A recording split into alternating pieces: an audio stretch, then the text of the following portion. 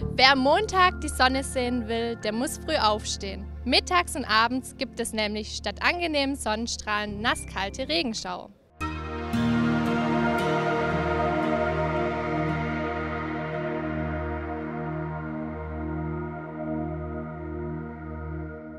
Zu Beginn der neuen Woche kommt die Sonne nur vereinzelt hinter der Wolkendecke hervor.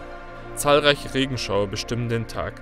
Die Temperaturen bewegen sich im Tagesverlauf zwischen 13 und 17 Grad. Am Dienstag gibt es einen Mix aus Sonne und Wolken bei Temperaturen zwischen 12 und 17 Grad. Auch am Mittwoch wechseln sich Sonne und Wolken ab. Höchstwerte von bis zu 18 Grad sind möglich. Der Donnerstag steht dem Mittwoch um nichts nach und bringt ebenfalls einen Mix aus Sonne und Wolken sowie Temperaturen von bis zu 18 Grad.